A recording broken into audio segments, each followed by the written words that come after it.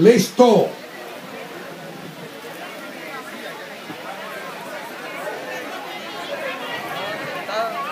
Bueno, vamos a lo que vinimos.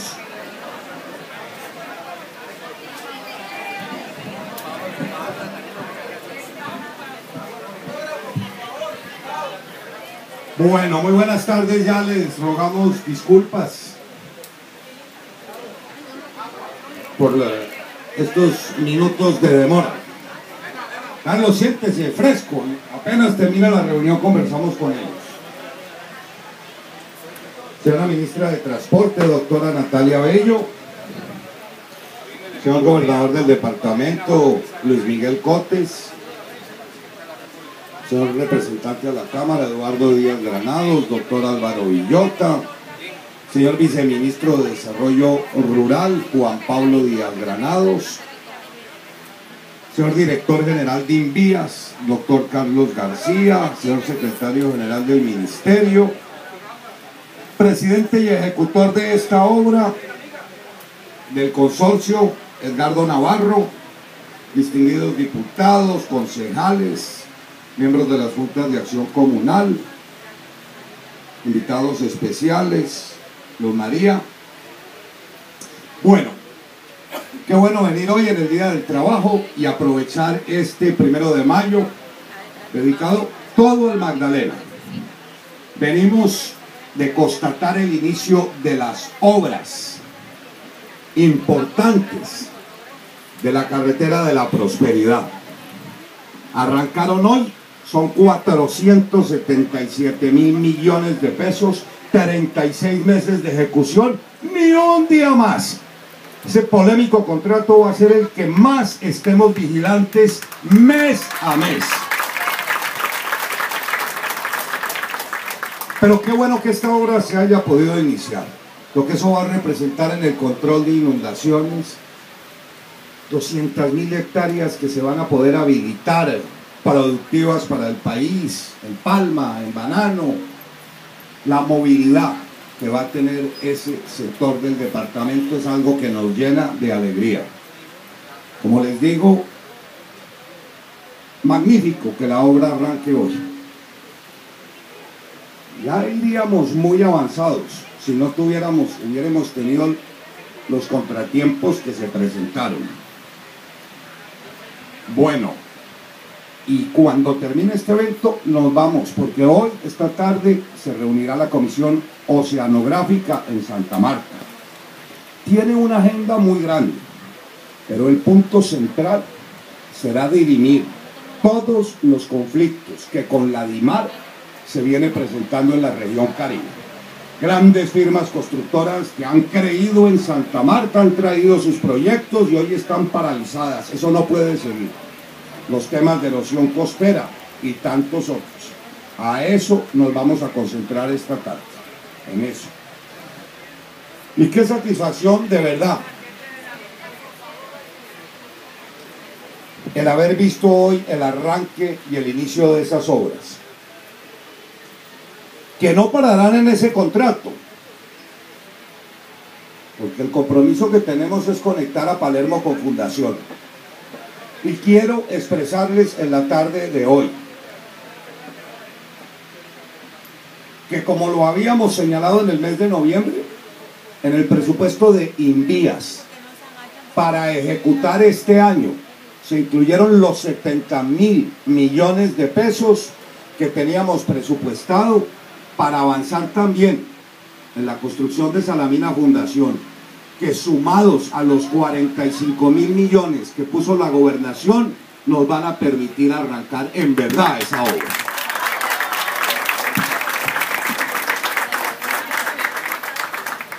Y comentarles también que ya nos fueron entregados los diseños contratados por el Invías de Guairalo a Salamina.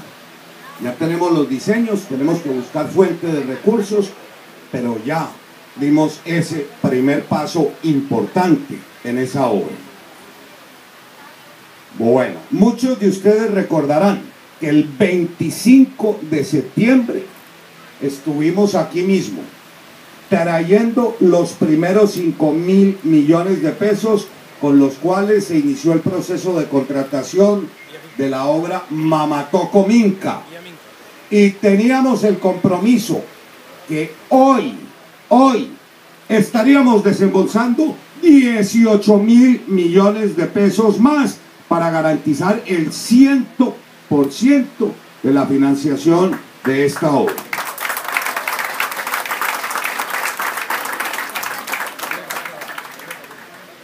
Trajimos la plata, Carlitos.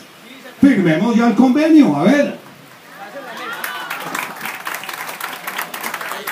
Aún en medio de las restricciones fiscales, hoy se trajo el dinero. No hay ninguna excusa para que esta obra no nos la entreguen en los dos meses que estaba prevista. Arrancó el primero de enero. Hoy trajimos el dinero que faltaba. 18 mil millones, 23 mil millones del gobierno nacional, ¿cierto? Muy cumplidos. Claro, y el departamento pone 20, de manera que vamos en 43 mil millones. A ver, doctor Carlos. Muy cumplido, director de Invidas. La gente cree que nosotros a veces hablamos paja y todo se cumple con un cronograma estricto. ¿ah? Muy bien, Carlitos. Yo sé que anda pelado, pero esta obra es muy importante.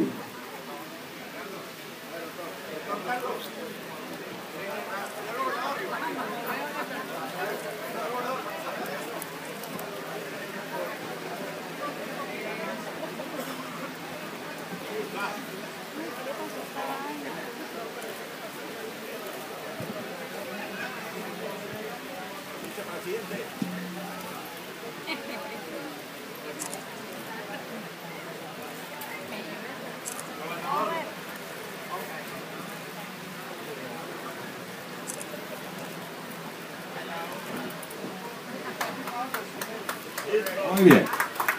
Ya no hay excusa para que no nos entreguen esa obra en enero del 2016, terminada. Bueno, y hoy ya ponemos en marcha este intercambiador. Felicitaciones, doctor Navarro. Un intercambiador que costó más de 24 mil millones de pesos. Y me dicen que la plata que les traje con la ministra el 25 de septiembre ya arrancó los 11 mil millones de pesos para llevar la vía de Minca a Tagua. La, en red terciaria, por supuesto. Ya se contrató esa obra también. Qué bueno, porque todo esto lo que va a favorecer el turismo a la Sierra Nevada, lo que va a favorecer a los productores de café a sacar sus productos, lo que va a contribuir a la movilidad del sector, ¿no? Teníamos otro compromiso, ministra, ¿se va a cumplir? Trajimos hoy, hoy, los 27 mil millones de pesos para que no haya excusa en la compra de los 119 predios que faltan. ¿Y dónde está la plata, Carlitos? Bueno, firmemos. Ciénaga Santa Marta, nos faltan unos predios. 5 mil millones habíamos traído, hoy 27 mil. No hay excusa para que no termine la doble calzada Ciénaga Santa Marta. Doctor Navarro, en diciembre, ¿ya ofertó los predios? ¿Ya ofertó los predios que le faltan?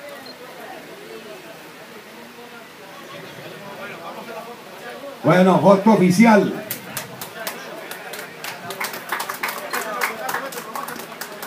Me, dejaron pelado, ¿no? Nos dejaron pelados. Bueno. Ese era el compromiso, aquí se cumple.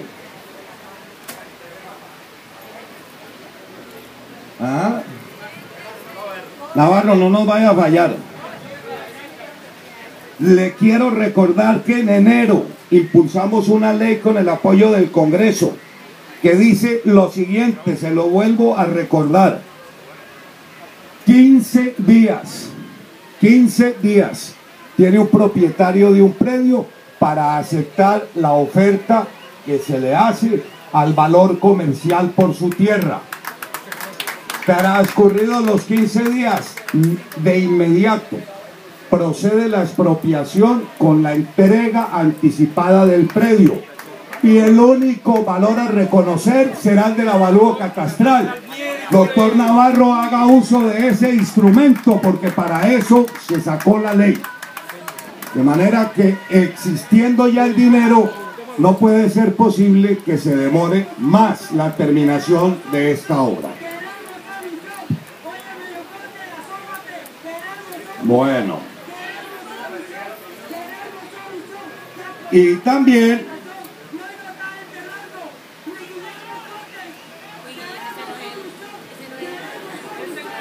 recordarán ustedes que ya desde noviembre habíamos firmado el convenio para la variante de Ciénaga. De manera que estamos pendientes también de poder avanzar. Se requiere tramitar el permiso ambiental. Y dentro del presupuesto que estamos concibiendo, se puede optar por una de dos cosas. Tenemos 170 mil millones de pesos para esa obra o le rogaríamos estudie la posibilidad de incluirla dentro de la APP privada que nos está presentando. Porque esa es otra muy buena noticia. Ayer, el jueves, la gobernación sacó la resolución en la cual se negaba la primera iniciativa que le fue presentada al departamento para construir la doble calzada Ciénaga-Barranquilla y se negó por una razón elemental, porque la iniciativa preveía el inicio de esa obra en el año 2021. No podemos esperar ese tiempo. Habiéndose negado esta semana esa APP, le damos curso a la segunda. El originador es el actual concesionario. De manera que si nos esta semana que viene aprobamos prefactibilidad. En junio va a tener diseños definitivos, ¿no? Julio, entregados diseños definitivos, le damos factibilidad. Y podríamos estar iniciando esta iniciativa a más tardar el año entrante. La doble calzada con la variante de Siena. Creo que es una muy buena noticia porque estábamos bien enredados con esas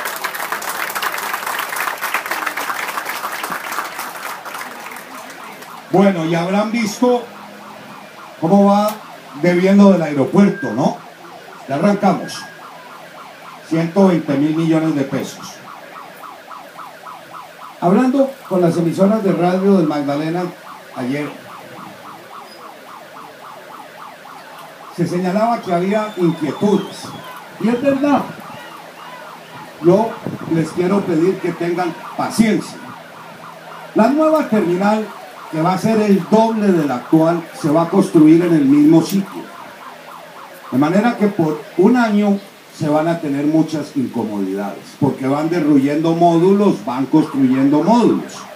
Pero es la única manera de que Santa Marta tenga el aeropuerto que se merece. Vean todos los recursos, ya se empezó a trabajar en la plataforma, vamos a tener parqueaderos de doble nivel, una vía de acceso extraordinaria, y entonces les pediríamos de verdad el favor que tengan un poquito de paciencia, es un año, pero al año vamos a tener uno de los mejores aeropuertos de Colombia.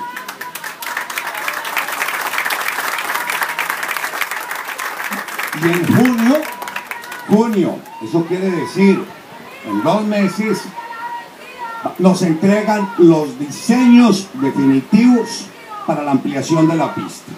Era otro compromiso en el que a partir del segundo semestre nos vamos a comprometer con los nuevos diseños, con los recursos que ofreció el gobernador y con los nuestros vamos a poder convertir eso en una realidad.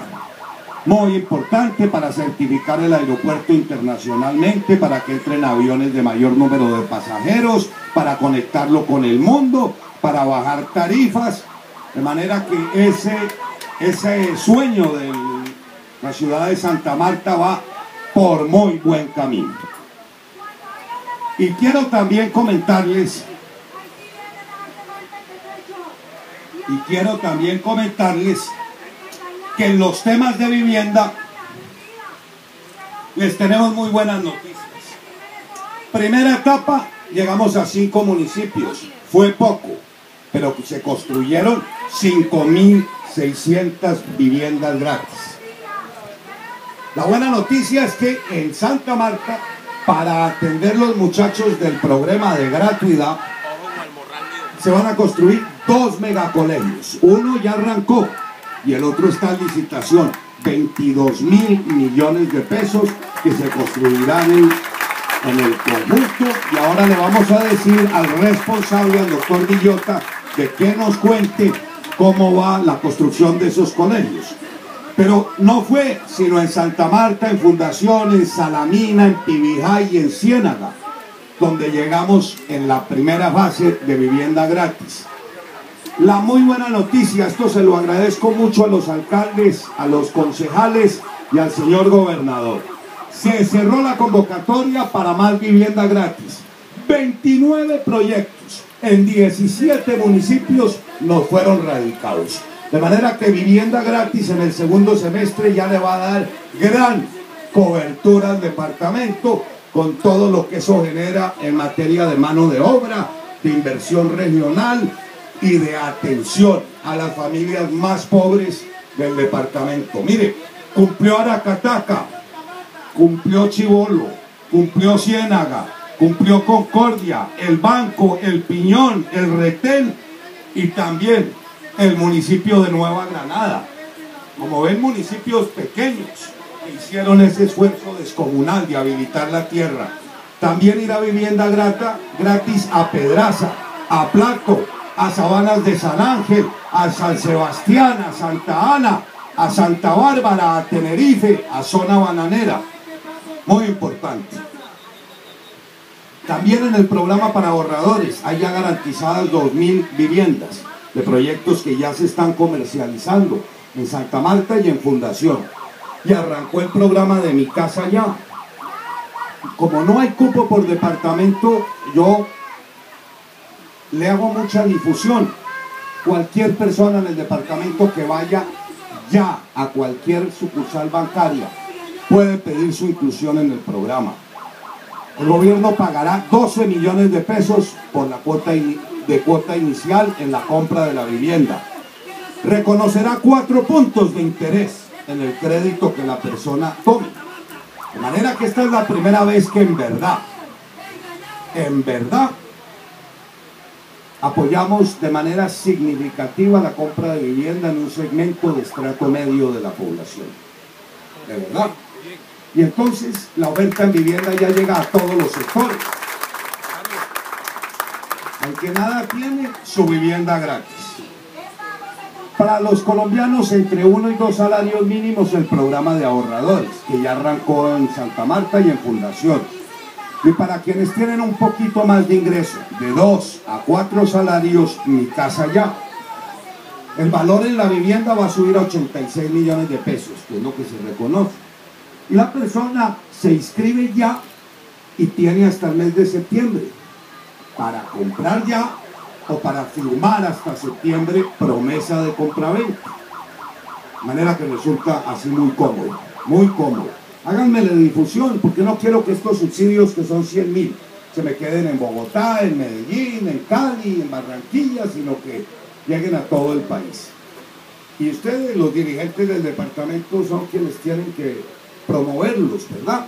Claro, el sector privado sacar la oferta de ese tipo de viviendas para que puedan aplicar el subsidio, pero la persona puede comprar el apartamento, la casa, donde quiera en Colombia, no tiene restricción para beneficiarse de este estupendo apoyo. Y también comentarles que en materia de agua potable vamos pues súper bien, no crean. Tenemos 53 proyectos en ejecución, casi 300 mil millones de pesos. Una cosa también muy relevante. Todos se estarán entregando este año. Todos. Vea. Mire. En Algarrobo 15 mil millones, en el banco 15 mil millones, en Concordia 8, en Fundación 25 mil, en Salamina 18, En zona bananera 17 mil. Son 282 mil millones que se están invirtiendo en este momento en acueductos, en alcantarillados, en todos los aspectos y las inversiones. Bueno, y termino por comentarles. En Santa Marta, pues ya van a entregarse los estudios definitivos. No vemos que las críticas que han surgido de que tomemos el agua en ciénaga pueda afectar a los cienagueros. Y entonces estamos ya muy prestos. En el presupuesto del Ministerio de Vivienda se reservó el dinero para el acueducto de Santa Marta, de manera que cuenten con eso. Bueno, y en materia de infraestructura también vamos muy bien. Vamos muy bien, vamos muy bien en todo. Ya se habilitó Ruta del Sol 3, que venía tan atrasada. Ya se pueden intervenir 300 kilómetros. Y en la parte del Magdalena esperamos que el otro sí que firmamos con los concesionarios de Ruta del Sol 3 se cumpla a cabalidad. Quedaron de entregarnos este año 120 kilómetros de doble calzado en, la, en el otro sí que firmamos. Y en Transversal Américas también firmamos, otro sí, 50% este año, 50% el año entrante y terminamos con Transversal Américas. Ruta Caribe también. A mí se puso las pilas. Ayer nos entregó la variante de Cartagena, ya había entregado la de Cincelejo, ya había entregado la de Montería. Se cerró la licitación Puerta de Hierro, Cruz del Viso, Palmar. Se cerró el viernes pasado. El, viernes hace 15 días. Nos llegaron ya cuatro propuestas. El 10 de mayo queda adjudicada esta obra importante también de cuarta generación. De manera que en todos los aspectos vamos muy bien. quería traerles estas buenas noticias, concretar los recursos que hoy se desembolsaron según el cronograma y estaremos muy atentos al buen desempeño de estas obras.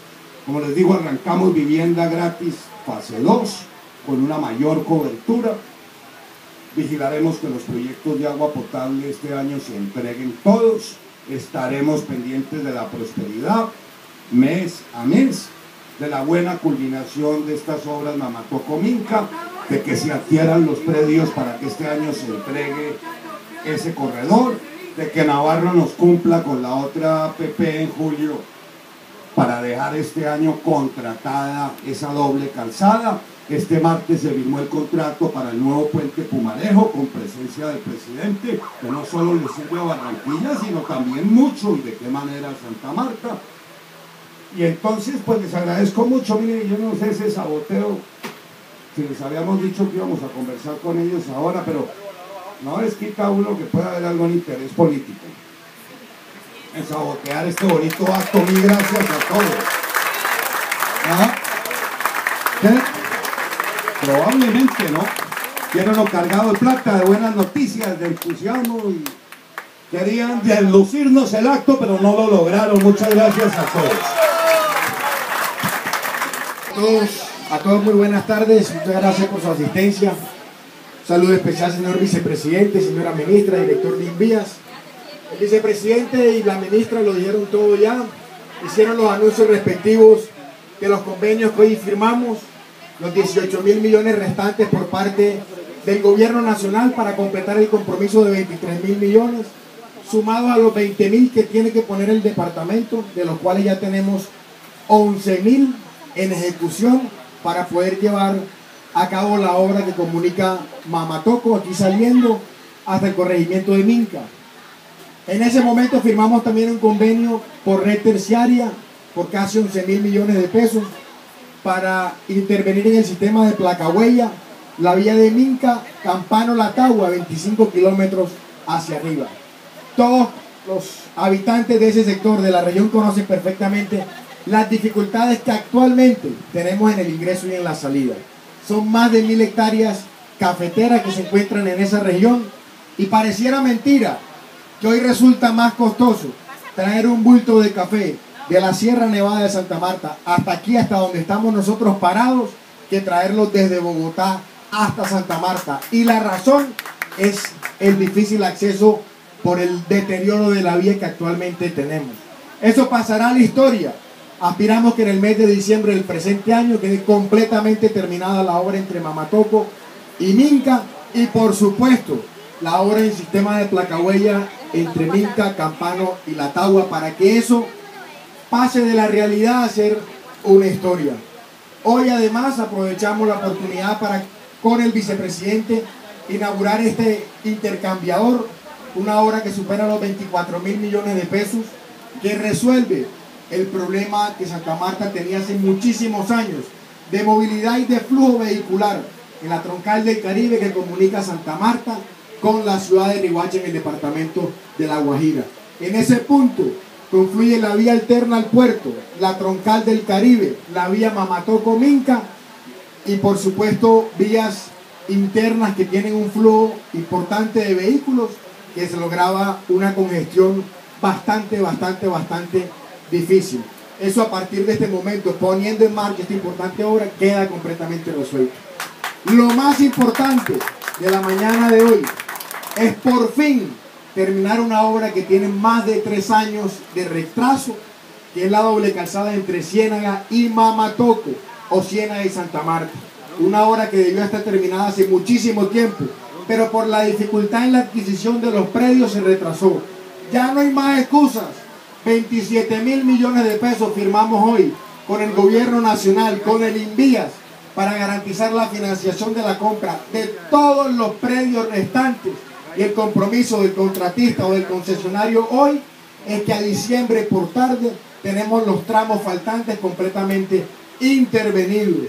Esa obra indiscutiblemente mejora sin duda alguna la movilidad en el sector más crítico y el más retrasado hoy, la Y de Gaira hasta el sector de Mamatoco. Hay unos tramos todavía especialmente entre la lucha y esta intersección que lo hacen bastante, bastante incómodo en su movilidad. Universidades, colegios, viviendas y una serie de, de, componentes que hacen que sea una vía nacional muy traficada. De tal forma, vicepresidente, solamente tenemos palabras de agradecimiento.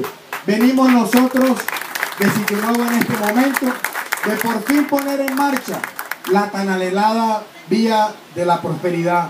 Una vía que en los años 80 empezó llamándose la Marinal al Río, luego la vía paralela al Magdalena. En el gobierno anterior se llamó la vía de la productividad, en este la vía de la prosperidad. Y nosotros nos pusimos una meta. Tenemos que acabar ya con los titulares de prensa. No queremos más que se le cambie el nombre. Queremos que de una vez por todas esta obra tenga su financiación tenga los recursos garantizados y por fin una intervención seria, ejemplar, que pueda lograr que más de 300 mil habitantes que habitan en la zona del río del departamento de Magdalena, una zona que históricamente ha sido invisible por no tener su comunicación vial, hoy pasará a ser una zona completamente visible, brindándole calidad de vida a sus habitantes. Eso va a conllevar a que se generen inversiones de todo tipo. Ya hay interesados, inversionistas nacionales, extranjeros, pendientes de comprar tierras y generar todo un desarrollo portuario y logístico en esa región. Tenemos una ventaja y es que de la mitad del río Magdalena hasta nuestro departamento hay un calado profundo natural que junto a la construcción del nuevo puente Pumarejo, con un gálibo de 45 metros que va a permitir el flujo de los buques desde Boca de Ceniza hasta la Dorada Caldas y con el proyecto de 2.5 billones de pesos que adelanta por Magdalena para garantizar la navegabilidad del río, será esa y estará llamada a ser una de las zonas más ricas, no solamente del departamento del Magdalena, sino del Caribe colombiano.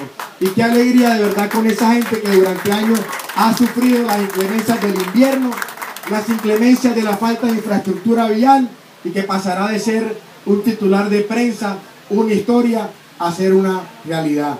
Vicepresidente, usted se metió en el corazón de los magdalenenses, así como lo ha hecho su equipo.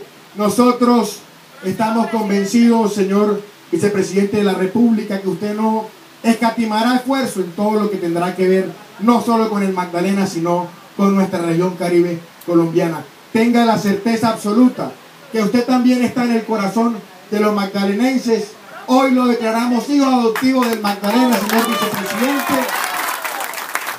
y le entregaremos formalmente las llaves de nuestro departamento para que entre y salga siempre con buenas noticias, con noticias prósperas en beneficio de una comunidad que lo quiere, pero que también lo necesita. Muchísimas gracias.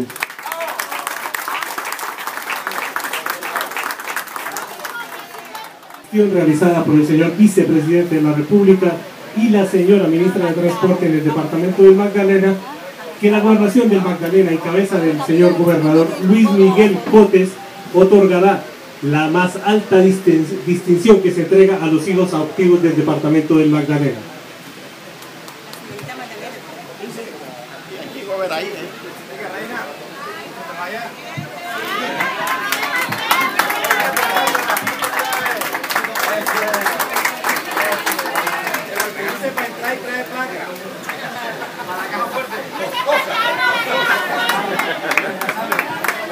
Gobernador, gobernador la bata.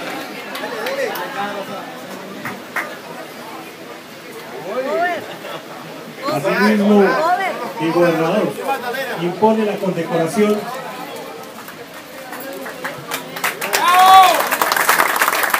Gran Cruz de Oro Antonio Escobar Camargo que conlleva además la su designación como canciller ad honorem del departamento de Magdalena con carácter vitalicio con el objeto que siga defendiendo como hasta ahora los proyectos del departamento en el escenario regional y nacional. Muy comprometedor, gobernadora, usted muy, muy amable, muy gentil, preciosa medalla. De manera que la recibo muy honrado y les agradezco mucho. Más que merecida. Más que merecida, vicepresidente. Usted ha hecho muchísimo por nosotros. Lleva además su designación como canciller ad honorem del departamento del Magdalena con carácter vitalicio, con el objeto de que siga defendiendo como hasta ahora los proyectos del departamento en el escenario regional y nacional. Regalémosle a ellos dos, a ellos tres, por supuesto, un fuerte aplauso, por favor.